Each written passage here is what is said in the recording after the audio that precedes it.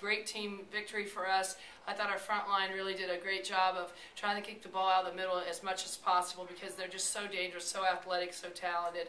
Um, you know, uh, Maddie really was an unbelievable leader for us all the entire 40 minutes, and she just showed poise out there. And I think you know the, the young kids look up to her so much. She's been banged up, injured her whole career. She's been banged up and injured, a lot of surgeries. But you know what? She sacrificed with all those charges. She just left it out on the floor, and um, that that's the kind of leadership that got it done tonight against a very talented Cal team.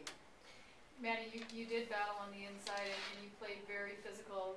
Do you think this was your best game overall? Um, yeah, I think I uh, stuck to my role, and I think I uh, listened and really played hard for my teammates, and it paid off.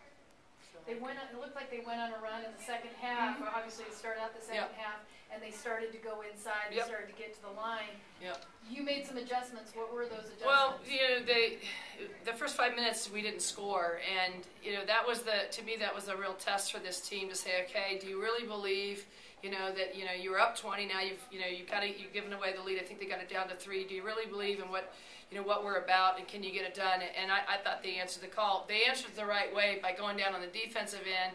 And, and you know we were able to get on high shoulders and take away some of the penetration and help inside a little bit more. Uh, she had a couple great charges, and all, but we tried to force them to put the ball down into where our help's located. And when we did that, uh, you know, typically they either took a tough shot or we came up with a charge or, or, or a good rebound on the backside. And hats off to Maddie and, and you know especially Maddie and Kitty Calderwood, our two seniors in the program. You know, you guys don't see it every day in practice, but they or them in the locker room or them off the court with these young kids. But they have been bringing them along in a really positive way. They both understand the game so well and.